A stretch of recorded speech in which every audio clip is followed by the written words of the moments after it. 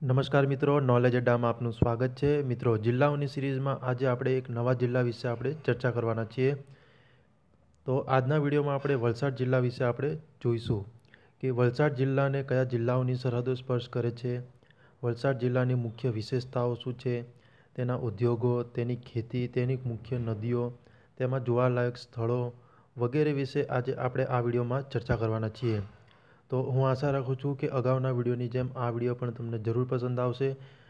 મિત્રો, અગાઉ પણ આપણે ઘણા બધા જિલ્લા વિશે આપણે ચર્ચા કરી ચૂક્યા છે. જો એ બધા જિલ્લા જોવાના બાકી હોય, તો ડિસ્ક્રિપ્શનમાં હું આ બધા જિલ્લાની લિંક આપી દઈશ. ત્યાં ક્લિક કરીને તમે બધા જિલ્લા જોઈ શકો છો. અને બીજું કે ચેનલના જિલ્લા પ્લેલિસ્ટમાં જઈને પણ તમે આ બધા જિલ્લા વિશે જોઈ શકો છો. તો સ્ટાર્ટ કરીએ આપણે વલસાડ જિલ્લો.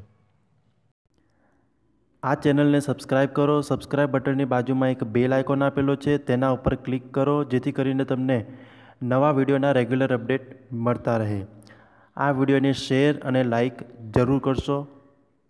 તો વલસાડ જિલ્લાની વાત કરીએ તો ઓગણીસો ને છાસઠમાં વલસાડ જિલ્લાને સુરત જિલ્લામાંથી અલગ કરીને બનાવવામાં આવેલો છે. અને વલસાડ જિલ્લાને કયા જિલ્લાઓની સરહદો સ્પર્શ કરે છે તે જોઈએ. તો વલસાડ જિલ્લાની ઉત્તરમાં જોઈશું તો નવસારી જિલ્લાની સરહદ પૂર્વ અને પશ્ચિમમાં, પૂર્વમાં મહારાષ્ટ્ર, દક્ષિણમાં મહારાષ્ટ્ર જિલ્લાની અને પશ્ચિમમાં અરબ સાગર.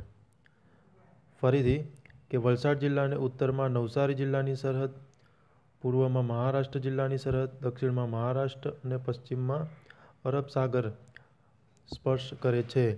તો આમ એવું કહી શકાય કે વલસાડ જિલ્લાને માત્ર એક જ જિલ્લાની સરહદ સ્પર્શ કરે છે. પરીક્ષામાં પૂછાય કે ગુજરાતનો એક ગુજરાતનો એવો કયો જિલ્લો છે જેને માત્ર એક જ જિલ્લાની સરહદ સ્પર્શ કરે છે? તો એ વલસાડ આવશે અને કયો જિલ્લો એ છે? તો નવસારી જિલ્લો. તો એ તમે યાદ રાખજો. ત્યારબાદ મહારાષ્ટ્ર રાજ્યની સરહદ પણ વલસાડ જિલ્લાને સ્પર્શે છે. ત્યારબાદ કુલ ક્ષેત્રફળની વાત કરીએ તો ત્રણ હજાર ને પાંત્રીસ ચોરસ કિલોમીટરમાં આખો વલસાડ જિલ્લો વિસ્તરાયેલો છે અને વલસાડ જિલ્લામાં બે હજાર અગિયારની વસ્તી ગણતરી પ્રમાણે સત્તર લાખ ત્રણ હજાર ને અડસઠ જેટલી આશરે વસ્તી અહીંયા વલસાડ જિલ્લામાં વસે છે. ત્યારબાદ આગળ જોઈએ તો વલસાડ જિલ્લાના મુખ્ય મથકો અને તાલુકાની વાત કરીએ તો વલસાડ જિલ્લાનું મુખ્ય મથક વલસાડ છે. તેમાં કુલ છ તાલુકા આવેલા છે. એમાં પહેલું છે વલસાડ, વાપી, કપરાડા, ઉમરગામ, ધરમપુર અને પારડી. તો આ છ તાલુકા તમારે યાદ રાખવાને પરીક્ષામાં પૂછાય કે પારડી તાલુકો એ કયા જિલ્લાનો છે? તો જો તમે યાદ રાખેલું હોય તો તમને તરત આવડશે કે વલસાડ જિલ્લાનો તાલુકો છે. તો અત્યારની પરીક્ષાઓમાં આવા સવાલો બેઠા પૂછવામાં આવતા હોય છે. તો ધ્યાનથી વાંચજો કે વલસાડ તાલુકામાં છ તાલુકા, વલસાડ જિલ્લામાં છ તાલુકા આવેલા છે. વલસાડ, વાપી, કપરાડા, ઉમરગામ, ધરમપુર ને પારડી. ત્યારબાદ આગળ જોઈએ તો વલસાડની વાત કરીએ તો વલસાડ એ ઔરંગા નદીના કિનારે વસેલું શહેર છે અને વલસાડ જિલ્લો એ એકમાત્ર જિલ્લો છે કે જેને એક જ જિલ્લાની સરહદ ધરાવે છે? કયો જિલ્લો? નવસારી જિલ્લો. તો આ પણ મોસ્ટ આઈએમપી કહી શકાય. પરીક્ષામાં પૂછાય કે ગુજરાતનો એવો કયો જિલ્લો છે જેને એક જ જિલ્લાની સરહદ સ્પર્શ કરે છે? તો વલસાડ જિલ્લો. ત્યારબાદ વલસાડ જિલ્લાની બીજી વિશેષતાની વાત કરીએ તો ચીકુ હાફૂસ કેરી માટે વલસાડ જિલ્લો ગુજરાતમાં પ્રથમ સ્થાન ધરાવે છે.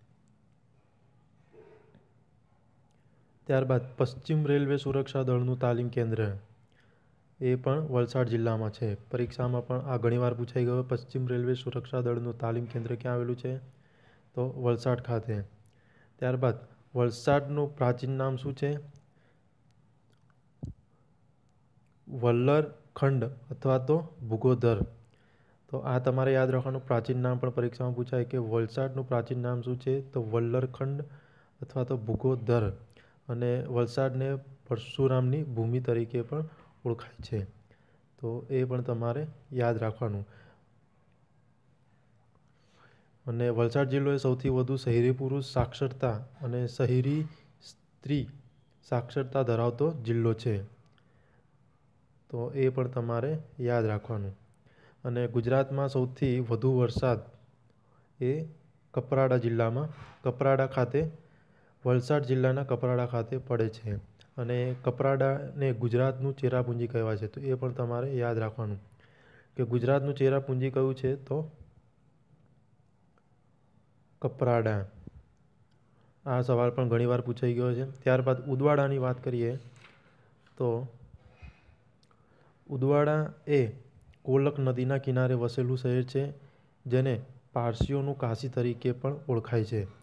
પરીક્ષામાં પૂછાય કે પારસીઓના કાશી તરીકે કયું ઓળખાય છે તો ઉદવાડા. મિત્રો, એવું કહેવાય છે કે ઉદવાડાની ઈરાનથી લાવેલા પવિત્ર અગ્નિ જેને આતશ બહેરામ કહેવાય છે, જે આજ સુધી અહીંયા અગિયારીમાં પ્રજ્વલિત છે. અને ઉદવાડાની અગિયારી ભારતના પારસીઓનું મુખ્ય તીર્થ સ્થળ પણ છે. તેથી અહીંયા પારસીઓનું કાશી કહેવાય છે. તો આ મોસ્ટ આઈએમપી પણ છે. પારસીઓનું કાશી તરીકે કયું ઓળખાય છે? તો ઉદવાડા ત્યારબાદ, તિથલની વાત કરીએ તો તિથલ એ દરિયા કિનારે આવેલું પર્યટન સ્થળ છે અને અહીંયા સાંઈ બાબાનું મંદિર પણ અહીંયા જાણીતું છે. ત્યારબાદ, અતુલની વાત કરીએ તો અતુલ અહીંયા કસ્તુરભાઈ લાલાભાઈએ સ્થાપેલું અતુલનું કારખાનું આવેલું છે, જે રંગ રસાયણ અને દવાઓનું ઉત્પાદન કરે છે. આ સવાલ પણ ઘણીવાર પૂછાઈ ગયો કે અતુલનું રંગ રસાયણનું કારખાનું ક્યાં આવેલું છે? તો વલસાડ ખાતે. ત્યારબાદ પારનેરા. તો પારનેરા નાનકડો ડુંગરાળ પ્રદેશ, જ્યાં શિવાજીના આરાધ્ય દેવી ભવાની માતાનું અહીંયા મંદિર આવેલું છે. પારનેરી ખાતે. ત્યારબાદ ઉમરગામની વાત કરીએ તો ઉમરગામ એ દરિયા કિનારે આવેલું કુદરતી સૌંદર્ય ધરાવતું વિહારધામ છે, જ્યાં ફિલ્મોના શૂટિંગ માટે જાણીતું છે. અને ઉમરગામ ખાતે વૃંદાવન ફિલ્મ સ્ટુડિયો આવેલો છે. જેમાં આપણે પંચમહાલમાં જોયું હતું કે પંચમહાલના હાલોલ તાલુકામાં લકી સ્ટુડિયો આવેલો છે.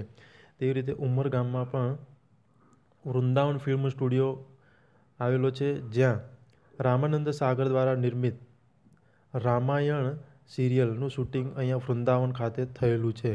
તો એ પણ તમે યાદ રાખજો. અને ગુજરાતનું છેલ્લું સ્ટેશન, છેલ્લું રેલવે સ્ટેશન એ પણ ઉમરગામ છે અને